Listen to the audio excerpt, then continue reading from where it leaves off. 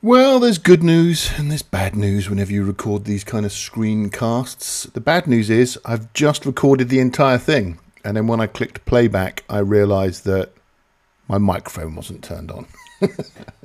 but the good news is I've got the entire text for this example lesson already in my copy paste buffer, and I'm going to paste it in and we're just going to talk through it. Essentially, what I've had this idea of doing is putting one more lesson on the Hello World series.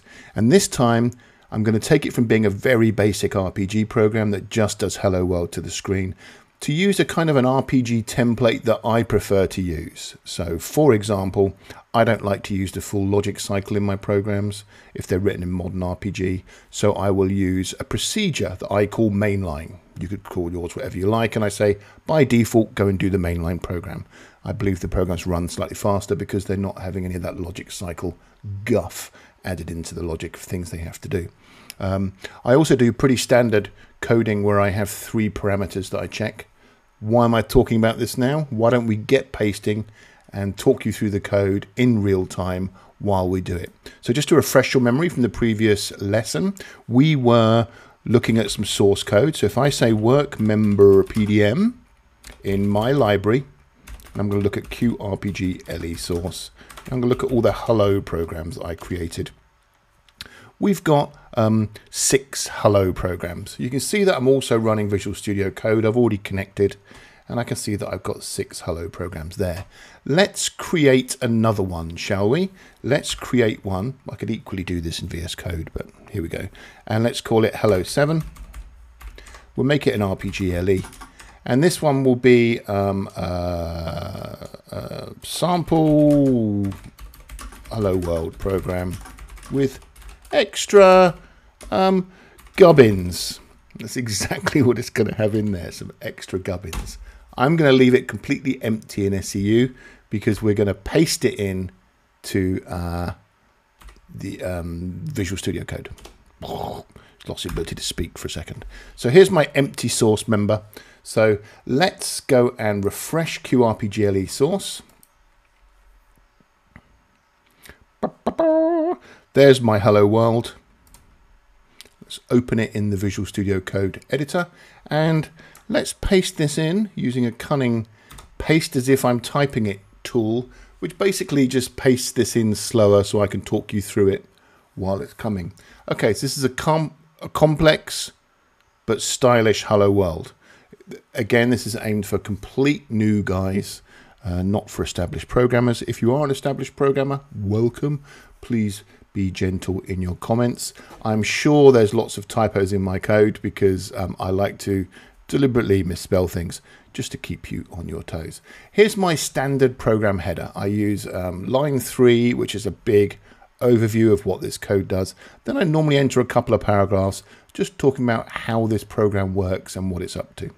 In this case, I've written a bit more comments than I would usually do because I want to explain some of the more complex setup attributes of this RPG program that complete noob programmers, freshers, wouldn't necessarily understand. The first one that I'm going through here is the main mainline. I create a procedure called mainline, you can call it whatever you like, and I tell the control option in the program to go and do that by default. So as opposed to the old logic cycle running all of its stuff and going and running, running through its mainline code.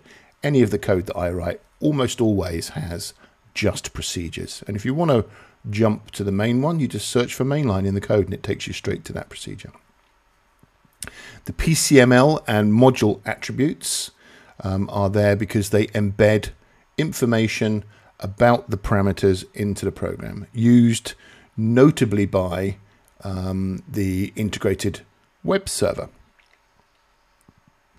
doesn't make any change to how your program runs. It just has some extra information embedded into it. Talking about embedding information, let me pause this just after the control options. You'll notice that one of the control options I type in is this one, copyright. Typically, I think IBM um, added that to give developers the right to say copyright, you know, Nick Litten Software Incorporated, the company name embedded in their code. Um, I use it because I find it much more useful to put in a version number and the name of the code. Um, you can see in this example that because I've already recorded this video once already, when I first typed this whole piece of code in and, and compiled it, it worked lovely. And then when I ran it a second time, I wanted to add a piece of code so that if it failed, it would send a message to the screen. So I came in here and added the version 1 added error. Then I updated the version number in my copyright so that when I do a display program from the screen, I can see embedded in the object the exact version of the code that that was compiled from. This is especially useful, this technique, if you've got multiple environments. Sometimes the source will get disconnected from the compiled object. You're not too sure if it's the right version. Looking in the source here, I can say this source is version 1. If I do a dis display program, I can see that it matches or not. Okay. Um, my parameters that are coming in are three parameters, an environment code, which is a three character code. It's just a standard that I like to use. Most of the time I'm using a develop a test, a UAT, user acceptance testing or QA, and a production environment. I like to send that into the code and maybe set the library list depending on that, whatever. And then I return back to the caller a success indicator that either says everything was great, it's an indicator, it's a Boolean value on or off. Everything was great or I failed or there was some error condition. Then optionally I return a message text string straight after that to say what went wrong. Or sometimes it worked and here's some extra information about what I did. Um, right, let's, let's carry on to the exciting stuff, which is the main body of the code itself. So once we've defined our control option, we're now just going to go straight into defining our first procedure, right? This is the mainline one that we've said this is what you're going to run by default. I say it's a program interface. Here is my three parameters that are coming in, environment, character 3, success indicator, and that text I was talking about. I then declare a variable called my response, and we'll get to that in a minute. The first thing I do is valid underscore environment. I check that my environment code is valid. And I'm going to do that in a second sub procedure, which we'll see in just a few lines of code. If it is a valid environment code coming in, it matches my preferred selection. I'm then just going to say, let's stick a message to the screen, the environment code. Then I've got this little do loop. Um, if you're a complete new person to RPG world or the IBM I world, you might not be aware of the differences between a do loop, a do until loop, or a do while loop. A do loop says you could say do 15 times. So do that piece of code 15 times a do while loop, you could say do while a variable has this value. Do while uh, username equals nick. So when it's reading through, reading a file that has usernames on there, it would only process for the nick ones. The difference with do until is do until says always do this loop at least once regardless of the logic. So go in and check it at the end. Do until it changes. So a do while loop will never go in if that value isn't satisfied. A do until will always go in.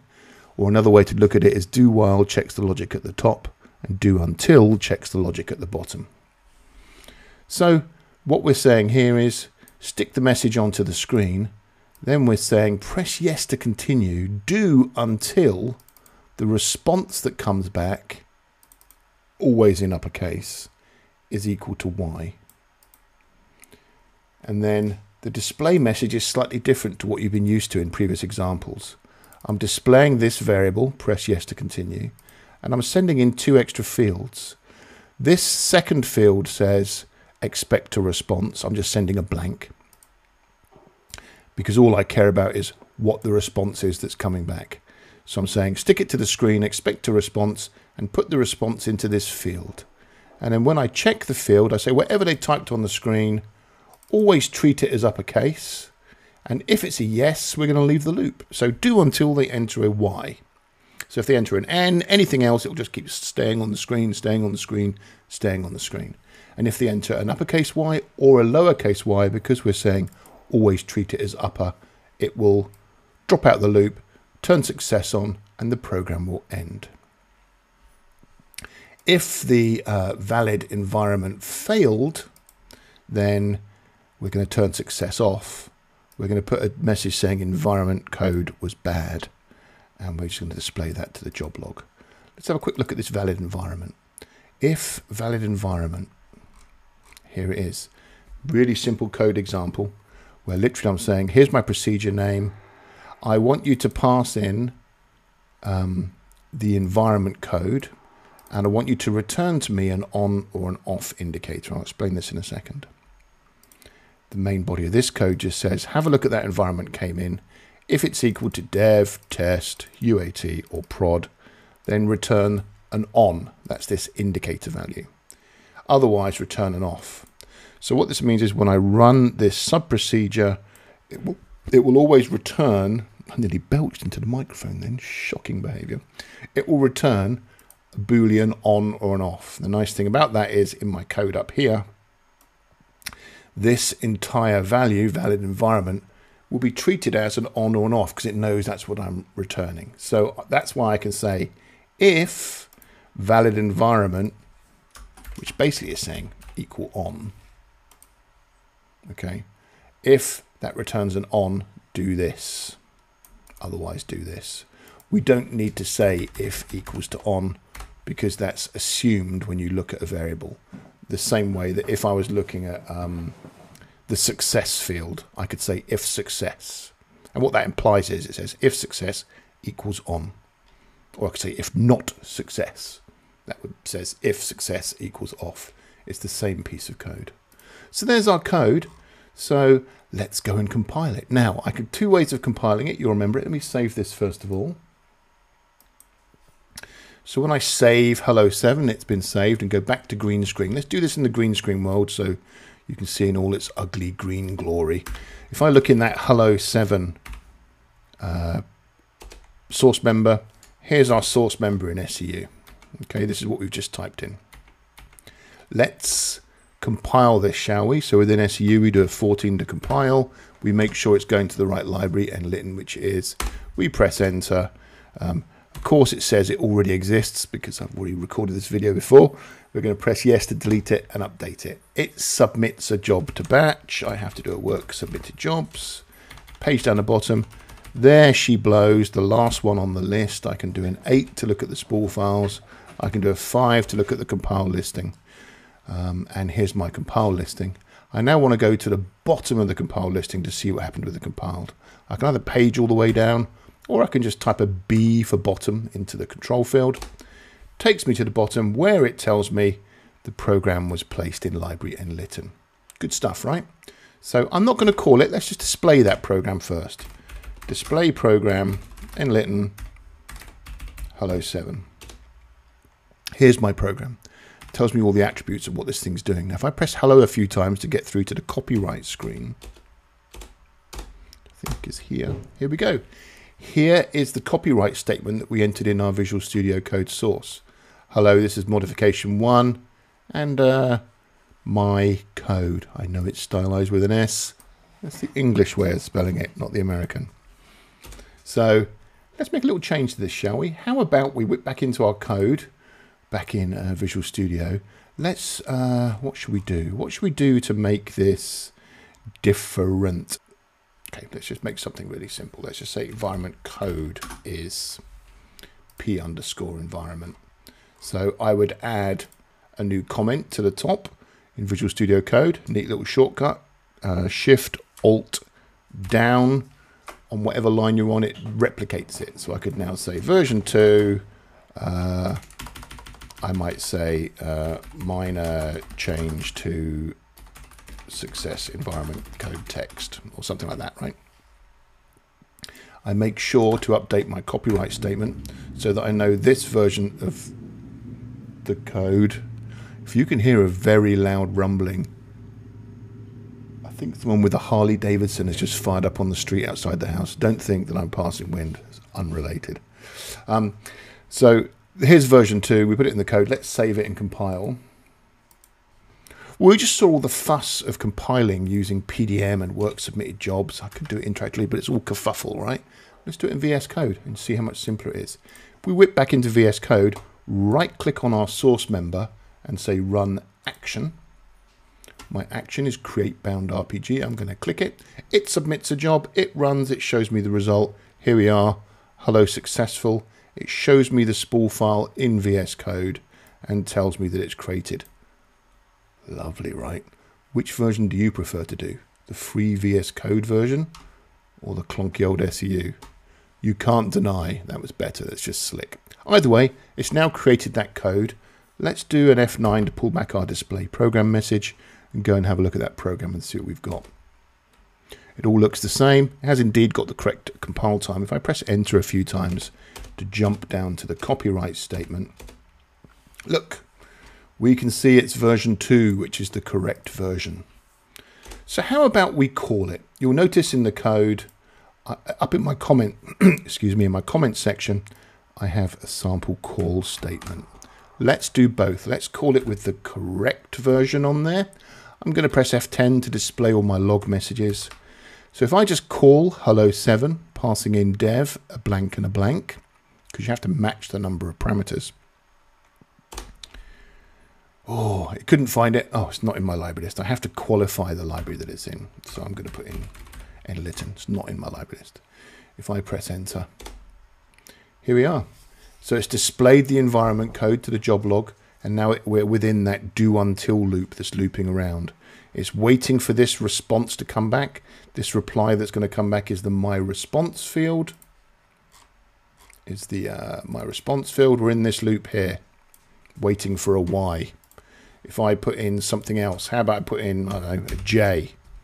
It says nope, do until. I'll put in a K. Nope, do until. How about putting a Y lowercase? The percent upper will treat it as an uppercase. The program ends. Beautiful. Did exactly what we wanted to do. How about we call it and we deliberately set it the wrong parameter? So I'm going to type in uh, wrong, W-R-O, and press enter. Oh, let me show you one other little trick here that few people know. If I prompt this command up, here's my prompted command.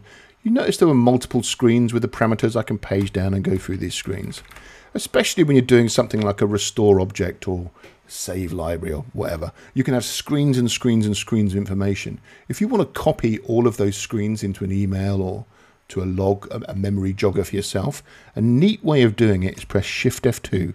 That's function key 14.